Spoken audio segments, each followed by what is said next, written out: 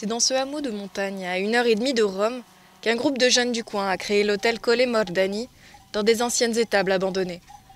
Pour faire connaître ses paysages et diminuer le taux de chômage des jeunes, la région du Latium a misé sur ses projets de valorisation des territoires ruraux. Elle a octroyé 6 millions aux 10 jeunes de Travinel Lazio pour transformer ce village abandonné en oasis au milieu des montagnes.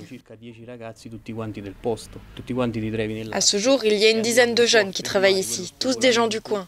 Alors ce projet aide vraiment à mettre un frein à la dépopulation et au départ massif des jeunes de Trevinel-Lazio, qui se multipliaient ces dernières années.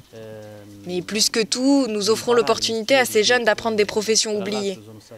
C'est de plus en plus difficile pour eux de trouver ce genre de métier de nos jours.